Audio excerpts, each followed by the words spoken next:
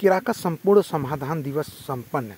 किराका तहसील सभागार में शनिवार की सुबह उप जिलाधिकारी माज अख्तर की अध्यक्षता में तहसील संपूर्ण दिवस आयोजित किया गया। इस दौरान 104 फरियादियों ने तहसील पहुंचकर अपनी फरियाद सुनाई। मौके से पाँच प्रार्थना पत्रों का किया गया निस्तारण। शेष बचे प्रार्थना पत्रों को निस्तारण हेतु संबंधित अधिकारी कर्मचारी को निर्देशित जल्द ही निस्तारण के लिए निर्देश दिए गए।